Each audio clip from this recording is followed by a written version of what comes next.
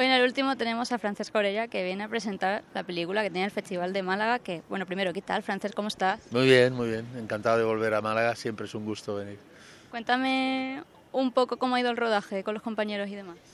Bueno, ha sido un rodaje muy bonito, muy intenso, eh, porque bueno, todos son intensos y sobre todo cuando hay, pero había mucha tela que cortar en este rodaje, pero ha sido muy muy satisfactorio trabajar de nuevo con gente joven. Ha sido una película muy bonita, es una película muy positiva, muy eh, hay una comedia, claramente comedia, pero con un fondo social humano muy chulo y ha sido un gusto y un reto de personaje, lo cual nos gusta más a los actores cuando te iba a preguntar, porque en este Menudas Piezas eh, te ha tocado hacer de persona invidente, de ciego, y te quería preguntar cómo te has metido en el personaje, ¿no? Porque todos esos movimientos y demás que caracterizan a una persona así, ¿cómo te lo has estudiado? ¿Cómo lo has llevado a la pantalla? Bueno, eh, he tenido una entrenadora, una coach, Patti Bonet, que es una actriz con una, un grado de discapacidad, pero que ella ve y tal eh, pero ha sido mi, entrenadora para las cuestiones más técnicas de cómo se mueven, de cómo comen, de cómo la mirada, eh, toda la expresión corporal de los ciegos. Y luego trabajar la mirada, esa mirada que no puedes focalizar en nadie, ha sido una pena poder perderme la mirada de Alexandra o, de, o de Miguel o de María Dánedo, que son los personajes o los actores con los que más interactúa mi personaje pues te pierdes la mirada del otro actor y eso, o actriz, eso es una putada porque nos alimentamos de la mirada del otro, siempre los actores. Pero es como de alguna forma estás trabajando no solo, pero un poco sí, porque bueno, tienes que mirar para otro lado y desenfocar la mirada. Es una cuestión técnica que vas trabajando. Ha sido muy apasionante trabajar eso, no, nunca había hecho eso. Ah, hice de ciego en teatro, pero no, no era lo mismo. Aquí es sin gafas oscuras, o sea, es trabajar la mirada. Y eso ha sido lo, sí, la mirada perdida, la mirada a Cuenca, y en cambio interpretar con el rostro, pero sin ver, sin ver, mirar sin ver, pues no es fácil. Bueno, la película. muy reto y me ha gustado cómo ha quedado. Y Nacho Velilla, el director, mm, ya me dijo, tío, ha quedado muy bien. Bueno, estamos contentos, vamos la película te, te describe, ¿no? Porque tu amigo te va describiendo cómo te está mirando, la cara de póker. Tengo allí el Pepito Grillo que me va diciendo, pues eh, creo que tu hija no se ha tomado muy bien lo que acaba de decirle. Sí, sí, Miguel Reyán está espléndido, ha sido un lujazo tenerlo como partener de, de ajedrez y representa que somos unos amigos de hace años del trabajo y él es más dandy, eh, tiene más clase, yo soy más currante.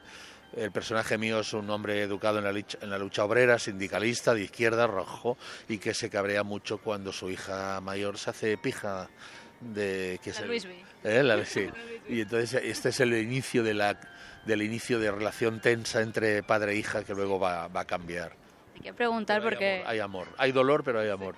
Te quiero preguntar porque como va tanto alrededor del ajedrez, ¿a ti te gusta el ajedrez? Sí, sí, sí, me gusta Me gusta, no suelo, pero jugué, jugué cuando era joven, tenía esa afición.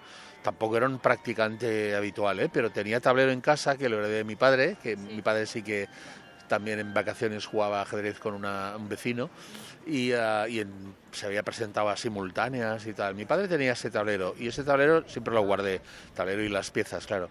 Y entonces dije, me gustó, cuando aprendí dije, hostia, qué interesante. Entonces jugué un tiempo, pero bueno, es una afición que no me duró mucho, pero ese tablero lo guardé ahí y, lo y mira, he tenido que recuperarlo para la película. Oye, ¿os ha dado por echar alguna partida de ajedrez allí en el rodaje, en algún tipo muerto o algo? Lo hicimos, pero no había manera de acabar no puedes acabarlas. No, bueno, tienes que dejarlas para el día siguiente, era complicado, pero sí que empezamos algunas, sí, sí. Bueno, yo lo del ajedrez además es, una, es un juego que asocio a una copa de coñac y la chimenea ardiendo. la ¿eh? situación ya es jugar ajedrez con un colega, la copita de vino, de coñac, de lo que fue, y el, fueguito, eh, porque yo recuerdo partidas así con un colega, eran así en invierno y tal, qué guay. Era, Como echaréis partida ya, os tiráis más tiempo jugando que rodando. ¿eh? Pero no, pero eso no era ahora, ¿eh? ah, eso eran las partidas que yo jugaba con un amigo. No, ahora en el rodaje no había ni chimenea. no había tiempo para eso. Hay que ir al curro. Pero bueno, ha sido un aprendizaje de tener que aprenderte partidas concretas, fragmentos de partidas, jugadas y además los ciegos eh, los tableros son distintos, las piezas tienen una particularidad para diferenciar negras de blancas. Todo esto tuve que entrenarme y, la jugada como, como, como dicen las jugadas.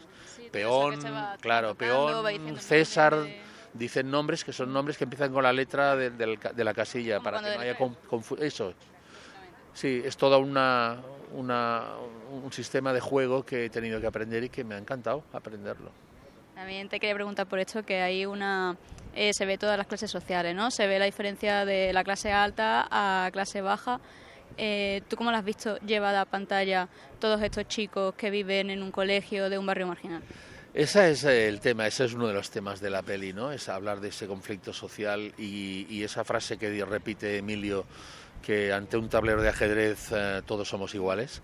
Bueno, y que el ajedrez sirva de, de casi de terapia educacional y de superación de unos chavales por los que no daban un duro y chavales con un futuro muy complejo, muy complicado y que de pronto el, ajedrez que les enseña su maestra consiga, consiga motivarlos. ¿no? Eso es, la parte bonita de la película y sí, el tema de, las clases sociales está allí muy presente, pero es muy transversal. El, el, ajedrez logra, logra de pronto y, bueno, el hecho de que de pronto el, personaje de Alexandra eh, aspire a no sé qué, a ella se cree que es que porque, porque se ha casado con un ejecutivo, está ya, forma parte de tal, y luego el conflicto que tiene al volver a casa de donde viene, que es de una familia de clase baja, bueno, aquí tiene ese encontronazo que este es muy interesante para, para su personaje y, el padre eh, está dolido con ella. Eh, hay un conflicto ahí, hay, para, él, para él su hija lo traicionó lo traicionó como hija porque se fue y lo dejó y traición de clase porque se casó con un tipo de con una tipo de clase alta, un pijales y tal y eso no para él es muy duro. Entonces esa ese inicio de, en la película de relación pues es chungo, pero da, da mucho humor también porque hay unas hay unas frases cojonudas. Eh, me encanta el guion y los diálogos porque las frases son cañeras y me encanta. Y la de los chicos también. Y la de los chicos, sí. Por eso que en una es que los guiones es que los guiones y los guiones y dentro de los guiones los diálogos básicos es importantísimo esto y más en una comedia en, cualquier película pero un guionista cambia todo hay un buen guionista y un buen montador que por cierto tengo que comentar y que con Nacho García Velilla lo hemos hablado mucho el montaje, no sé cuántas veces pasó por las pistas de montaje, esta película lo he comentado en la rueda de prensa.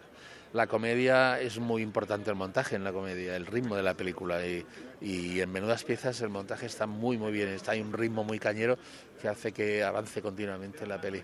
Bueno, Frances, tenemos que ir terminando ya y te quiero, quiero terminar esta entrevista recordando una serie por la que muchísima gente te coge mucho cariño. ¿Echas de menos Merly?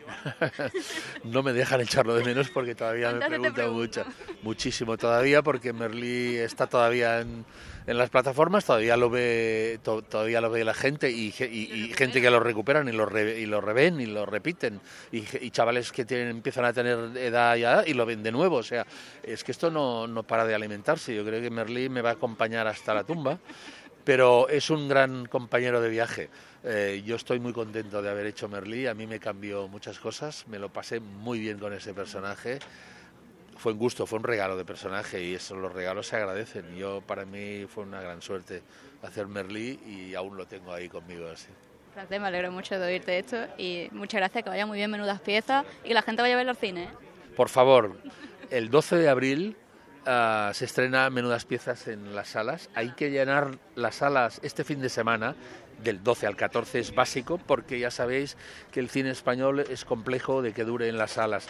Los exhibidores, si la primera semana no va muy bien de taquilla, la echan. Espero que den un poquito más de tiempo a, la película porque vale la pena verla en las salas. Por eso se sabe cuándo estará en plataforma luego. Pero no, hay que ir al cine, que es eh, hay, que consumir lo nuestro, que, en España hay un cine cojonudo y hay unos profesionales cojonudos. Muchas gracias, Frances. A vosotros.